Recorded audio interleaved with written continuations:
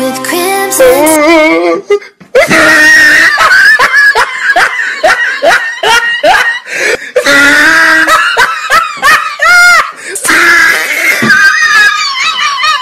Every day is a Monday. And you might not like that. Me, I love it.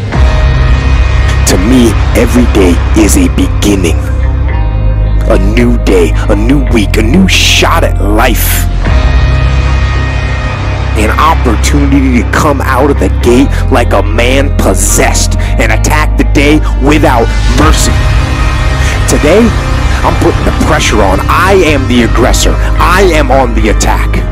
You don't get this far. You don't get to this point and just stop. People that succeed quit quitting when things get hard. Any path you take to get where you want to be, if that place is worthwhile to go, it's going to be hard. Struggle, pain, misery, frustration, those are signs that you are on the right path. Nobody that is where you want to be has gotten there without these struggles, without the pain. And if you want to be something great, you are going to have to learn to accept the struggle as part of the recipe. Every single day you need to look yourself in the mirror and ask yourself, what am I willing to do to get what I want?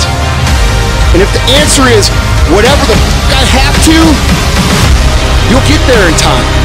It's necessary you take responsibility for it. That you make it happen, that you don't give up, that you don't take any objection or disappointment or defeats personally, that you keep on keeping on, that you don't decide that I can't make it because you can't see the light at the end of the tunnel, that you realize that's a part of the program. See, as long as you're breathing, you got a shot at your dream. And here's something you